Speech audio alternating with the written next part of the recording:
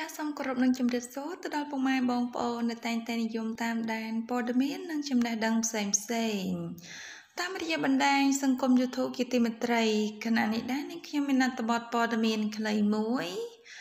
យកមកជម្រាបជូនពុកម៉ែបងប្អូនទស្សនានិងស្ដាប់កំសាន្តមានចំណងជើងថាលឿនពេកហើយបងធ្លាប់តែជេរប្អូនប្រដៅប្អូន ឥឡូវបងទៅចោលប្អូនរហូតហើយបងអើយឆាប់ដឹងខ្លួនវិញមកណាចាំមនុស្សចិត្តដល់ខ្លឹមសារព័ត៌មានសូមពុកម៉ែបងប្អូនជួយ Subscribe រកបណ្ដឹង like និង share ម្នាក់មួយដើម្បីទទួលបាននូវព័ត៌មានថ្មីថ្មីជាច្រើនពេក Channel របស់នឹងខ្ញុំផងដែរចា៎ចាប់ភ្នំពេញពិតជារឿងដែលគួរឲ្យរន្ធត់ចិត្តយ៉ាងខ្លាំងដោយកាលពីយប់មិញថ្ងៃទី23ខែមករា ឆ្នាំ2020នេះចាមានករណីនារីដ៏ស្រស់សោភីម្នាក់បានទទួលមរណភាពជាលក្ខណៈដែលនៅសល់តែប៉ុន្មានថ្ងៃទៀតប៉ុណ្ណោះគាត់នឹងចូលរោងជ័យចាហើយនឹងคลายទៅជាកូនក្រមុំដ៏ស្រស់ស្អាតទៅហើយចាបែជា ចាជួបរឿងអកុសលបែបនេះចាចានារីរងគ្រោះមានឈ្មោះថា ចាលឹមស្រីហេងអាយុ28ឆ្នាំស្នាក់នៅសង្កាត់ដង្កោខណ្ឌដង្កោដោយនៅសល់តែជាង10ថ្ងៃទៀតប៉ុណ្ណោះនាងនឹងចូលរោងការហើយចាចាករណីគ្រោះថ្នាក់បានធ្វើឲ្យមហាជនជា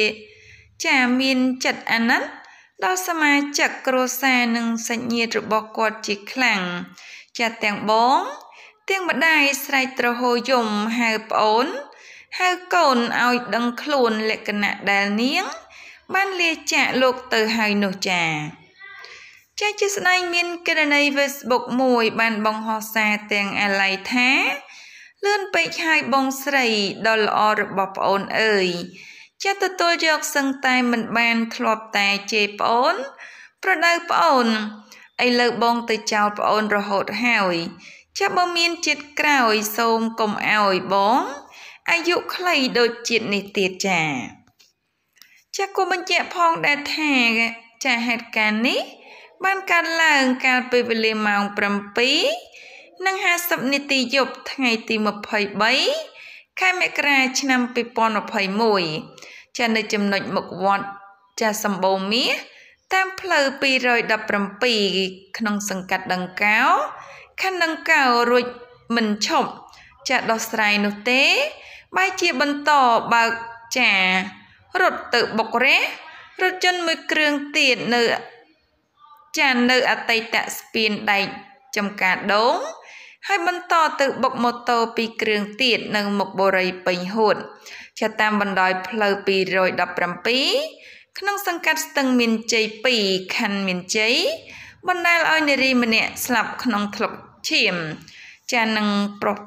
ចានឹងប្រុសស្រី3នាក់ទៀតក៏របួសស្រាលចំណែកជនបង្កបើកបរក្នុងស្ថានភាពស្រវឹងចាចាតបតខ្លឹមសារព័ត៌មានខ្លីនៃនាងខ្ញុំបានជម្រាបជូនសូមបញ្ចប់ត្រឹមហ្នឹងសូមអរគុណសូមជម្រាបលា